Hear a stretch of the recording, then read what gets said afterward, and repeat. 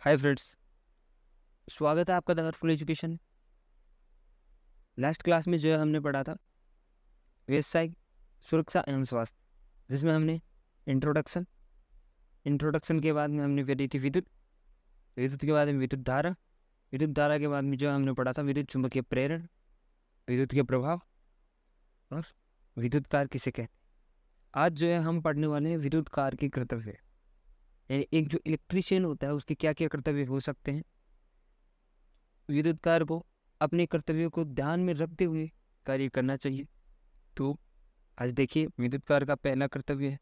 विद्युत परिपथ के स्थापना के विवरण इत्यादि के लिए रेखा चित्र निर्देशों का अध्ययन कर एक विद्युत कार है, वह किसी भी विद्युत परिपथ की स्थापना करने से पहले उसके लेआउट का जो है निर्देश अनुसार वह उसका अध्ययन करेगा, उसके बाद ही उसका लेआउट बनाएगा। आगे देखिए, दूसरा एक विद्युत कार्य का कर्तव्य है, विद्युत यंत्र, जैसे megger, earth tester watt meter, आवर्ती मीटर, पावर फैक्टर मीटर, ऊर्जा मीटर आदि की मरम्मत तथा उनमें उत्पन्न होने वाले दोषों को दूर करना या ठीक करना एक विद्युत कार्य का कर्तव्य होता है। तो आपको दो विद्युत कार्य के कर्तव्य याद रखने हैं। एक तो विद्युत परिपथ की स्थापना के समय विवरण इत्यादि के लिए रेखा चित्र भी निर्देशों का अध्ययन करना चाहिए। और एक विद्युत यंत्रों जैसे megger earth tester wattmeter power factor meter, ऊर्जा मीटर आदि की मरम्मत करना या उनमें उत्पन्न दोषों को ठीक करना, ये जो है दो विद्युत कार्य के जो है कर्तव्य होते हैं।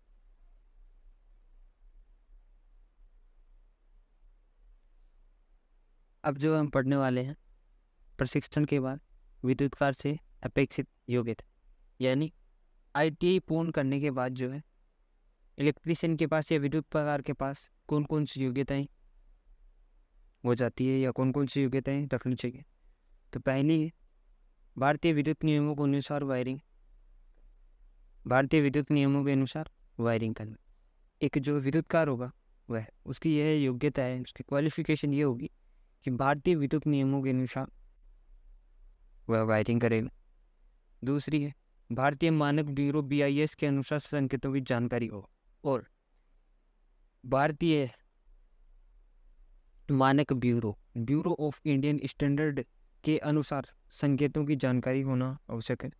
तीसरा देखिए, भारतीय विद्युत नियमों के अनुसार ओवरहेड लाइन पर काम करने में सक्षम होना चाहिए और बीआईएस या भारतीय विद्युत नियमों के अनुसार ओवरहेड लाइन पर कार्य करने में सक्षम होना चाहिए। ओवरहेड लाइन मतलब ग्यारह हज़ार ग्यारह हज़ार वोल्टेज से ऊपर की जो लाइनें होती है, उन्हें ओवरहेड लाइनें कहते ये जो है, इसके बारे में आगे जो है जानकारी आपको फुल डिटेल में दी जाएगी। चौथा देखिए, भारतीय विद्युत नियमों के अनुसार अर्थिंग कर यानी भारतीय विद्युत नियमों के अनुसार अर्थिंग करना, एक इलेक्ट्रिशियन को आना चाहिए।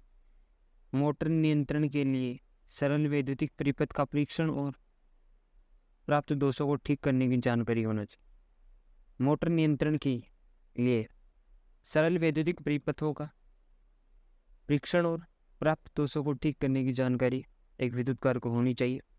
आगे देखिए, वैद्युतिक मशीनों को रिवाइंडिंग करने की जानकारी होनी चाहिए। वैद्युतिक जो मशीन होती है, विद्युत से चलने वाली जो मशीनें होती हैं, उनको रिवाइंडिंग करने की जो है जानकारी जो है एक विद्युत कार को होनी चाहिए।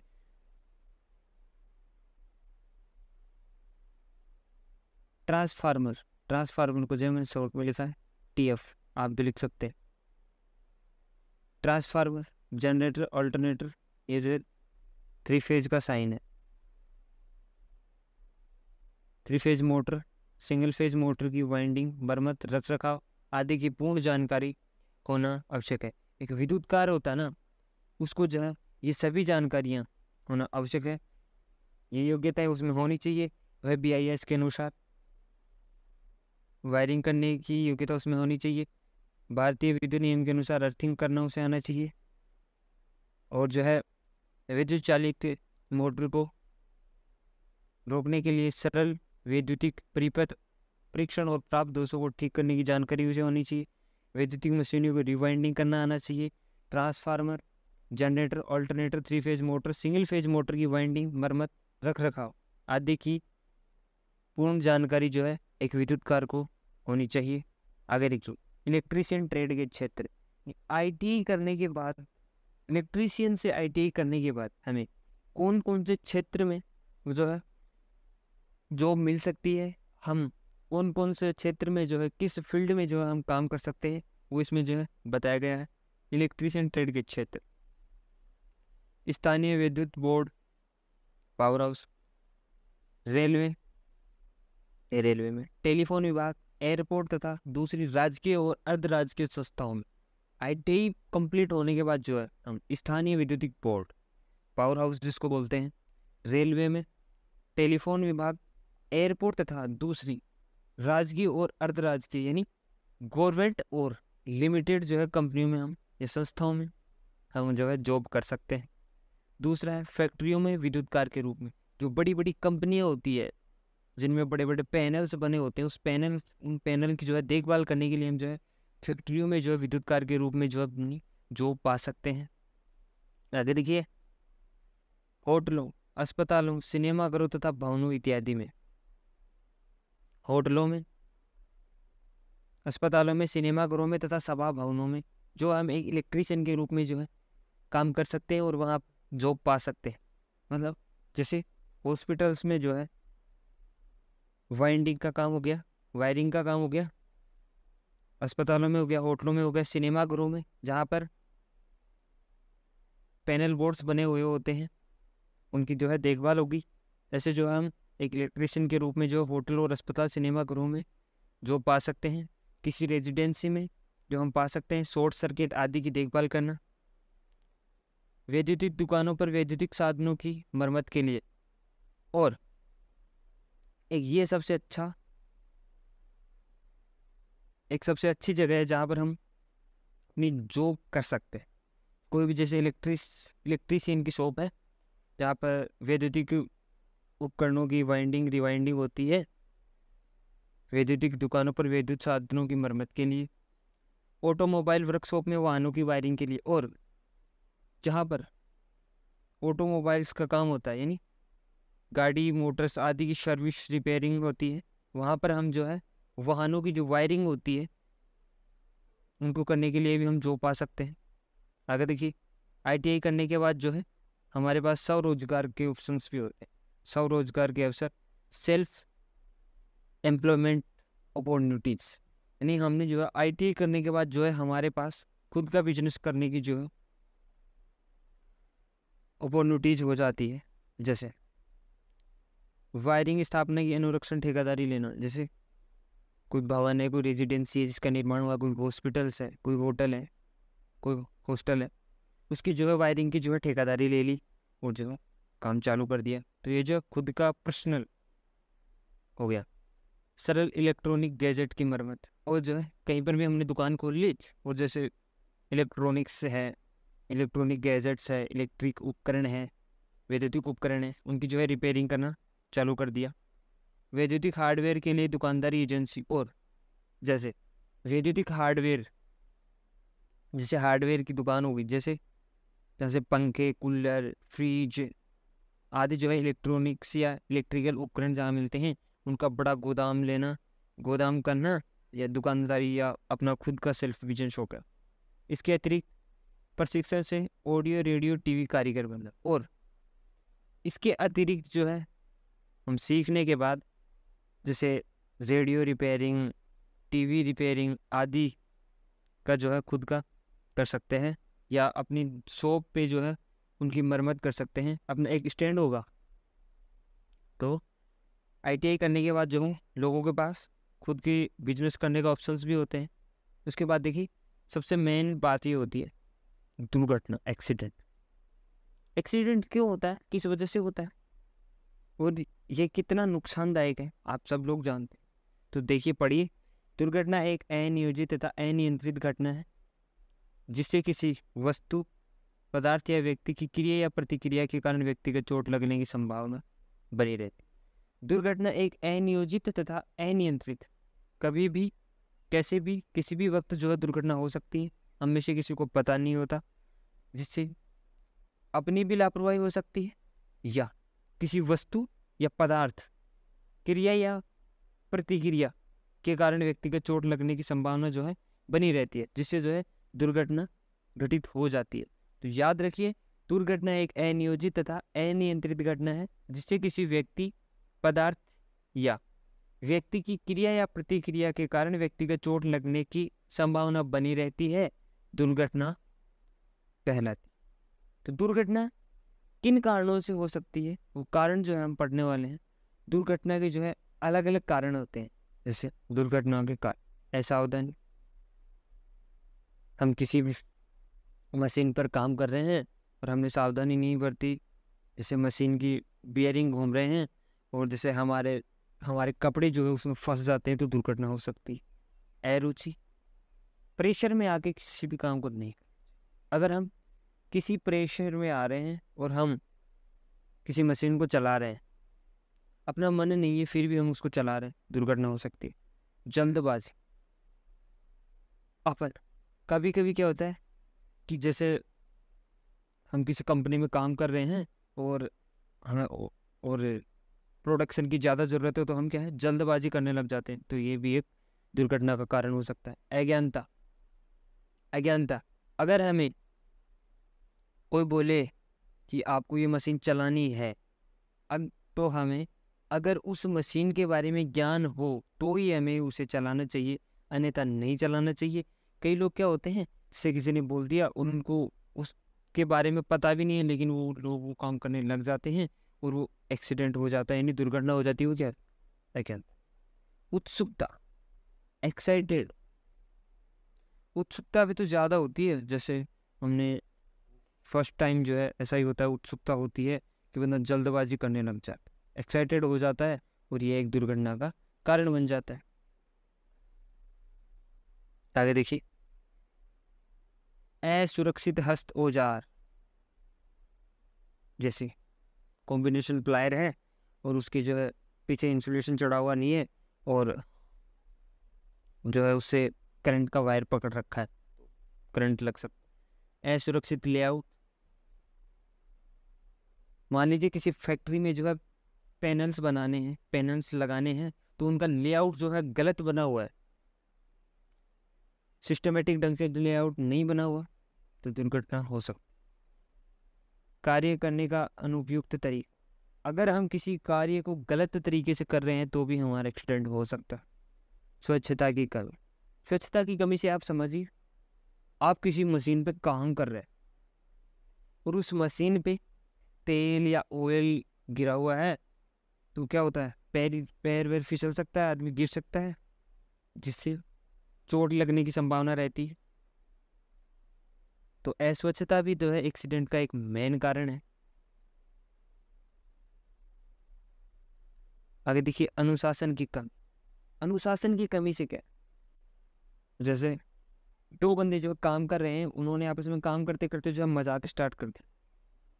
अनुशासन वो लोग भूल चुके हैं। सो मज़ाक मज़ाक में कभी क्या होता है? एक्सीडेंट हो जाता है। तो अनुशासन की कमी, ये भी एक एक्सीडेंट का मेन कारण है। असुरक्षित पहनावा, एक इलेक्ट्रिशियन को जो है इलेक्ट्रिक लाइन पर काम करने से पहले अपना जो है, सुरक्षा किट जो है पहनना चाहिए। उसके हाथ में ग्लव्स होने चाहिए। उसके सिर पर हेलमेट होना चाहिए। उसके पैरों में जो है विद्युत रोधी जूते होने चाहिए। और उसके हाथ में जो हस्त औज़ार हैं, वो विद्युत के कुचालक होने चाहिए। अन्यथा एक्सीडेंट हो सकता है। उसे वैद्युतिक झटके का सामना करना पड़ सकता है। आगे देखिए, प्रकाश की अनुपयुक्त व्यवस्था, अंधेरा। भाई जहाँ अंधेरा होगा, वहाँ पर कोई कैसे काम कर सकेगा अंधेरे में उसे दिखाई नहीं देगा और एक्सीडेंट हो जाएगा। खतरे वाले पदार्थों के साथ विशेष सावधानी न बरतें। खतरे वाले पदार्थ जैसे एसिड है। एसिड के साथ अगर जो है हम नंगे हाथ जो है एसिड को छुएँगे तो हमारी स्किन डैमेज होने की संभावना रहती है या वो कहीं भी गिर सकता है। तो ऐसे पदार्थ जिनसे हमें खतरा हो, उन्हें सावधानी पूर्वक यूज़ करना चाहिए। हाथ लगाना चाहिए। ये भी एक मेन कारण है। अस्वस्थता या थकान? जैसे आप थके हुए हैं, या स्वस्थ नहीं है, बीमार हैं तो आपको काम नहीं करना चाहिए। क्योंकि क्या पता काम करने के दौरान आपकी तबीयत ज़्यादा बिगड़ जाए और आपका जो है एक्सीडेंट हो जाए किसी आप चलती हुई मशीन पर गिर जाए। तो अस्वस्थता या थकान के समय व्यक्ति को काम नहीं करना चाहिए। एक सबसे प्रमुख कारण ये है कि नशे की आदत। नशे की आदत आप में नहीं होनी चाहिए। अगर आप नशा करते हैं और नशा करके अगर आप अपने वर्किंग एरिया में चले जाते हैं तो आपका एक्सीडेंट सुनिश्चित है, क्योंकि आपका शरीर जो है, आप कंट्रोल नहीं रख पाएँगे और या तो आप किसी मशीन पे गिर जाएँगे या किसी विद्युत चालित उपकरण को हाथ लगा देंगे या खुद टच हो जाएँगे या आप कहीं भी गिर जाएँगे तो आपका एक्सीडेंट हो सकता तो एक्सीडेंट बहुत कारणों से होता है। इन कारणों को हमें ध्यान में रखना चाहिए और इन कारणों को हमें ध्यान में रखते हुए ही कार्य करना चाहिए। आगे देखिए, विद्युत झटका लगने के कारण। विद्युत झटका किन कारणों से लगता है? भाई, विद्युत झटका कारणवश लगता है। अपनी लापरवाही से लगता है। सामान्य नब्बे वोल्टेज तथा तीस मिली एम्पियर से अधिक वोल्टेज पर विद्युत धारा हमारे शरीर के आर पार स्थापित हो जाती है तो हमें एक तीव्र झटके का अनुभव होता है। यही झटका विद्युत झटका कहलाता है। विद्युत झटका किस कारण से लगता है भाई? जैसे हमने नंगा तार पकड़ लिया। ठीक है तो झटका लगना ही। वायरिंग करते समय जो है, स्क्रू ड्राइवर है, उसका हैंडल जो है, डैमेज हो रखा है। जिससे हमें विद्युत झटका लग सकता है। ध्यान रखिए, विद्युत झटका किसे कहते हैं? विद्युत झटका किसे कहते हैं? सामान्यतः नब्बे वोल्टेज तथा 30 मिली एम्पियर से अधिक वोल्टेज पर। सामान्यतः नब्बे वोल्टेज तथा 30 मिली एम्पियर से अधिक वोल्टेज पर विद्युत धारा हमारे शरीर के आर पार स्थापित हो जाती है।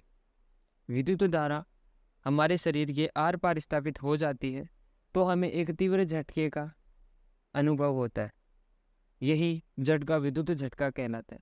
क्या कहना चाह रहा है? कहना ये चाह रहा है नब्बे वोल्टेज या तीस मिली एम्पियर से अधिक की विद्युत धारा अगर हमारे शरीर के आर पार स्थापित हो जाती है तो हमें एक विद्युत झटके का अनुभव होता है, यही विद्युत झटका कहलाता है। विद्युत संपर्क से व्यक्ति को छुटाना। अगर कोई व्यक्ति को करंट लग गया तो उसे किस तरह से छुड़ाना चाहिए?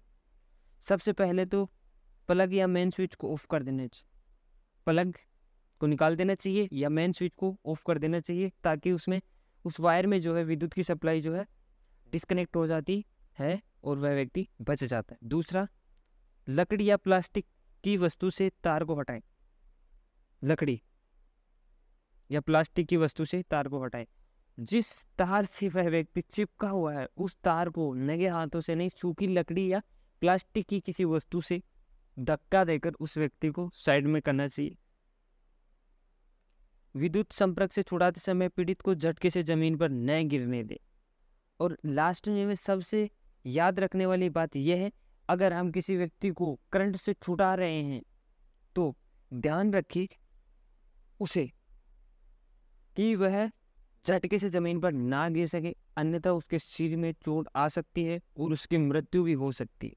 तो किसी व्यक्ति को विद्युत से छुटाने के लिए या बिजली से छुटाने के लिए प्लग या मेन स्विच को ऑफ़ कर देना चाहिए, लकड़ी या प्लास्टिक की किसी वस्तु से उसको धक्का देना चाहिए। और ध्यान रखें धक्का देते समय ये ध्यान में रखना चाहिए कि वह ज़मीन पर झटके से ना गिरे, अन्यथा उसके सिर में चोट आ सकती है, अंदरूनी चोट लगने से उसकी मृत्यु भी हो सकती है।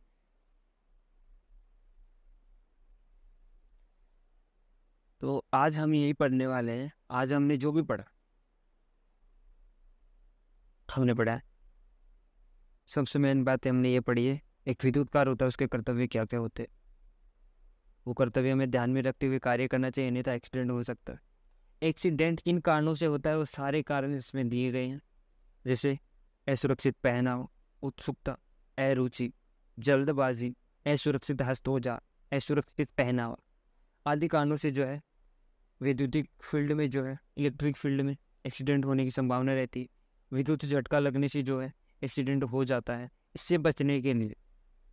विद्युत झटके से व्यक्ति को छुड़ाने के लिए आपको कौन कौन सी उपाय जो है करने चाहिए और कौन कौन सी सावधानियाँ जो आपको बरतनी चाहिए, इन सभी को ध्यान में रखना, रखते हुए एक व्यक्ति को जो है विद्युत से छुड़ाना चाहिए।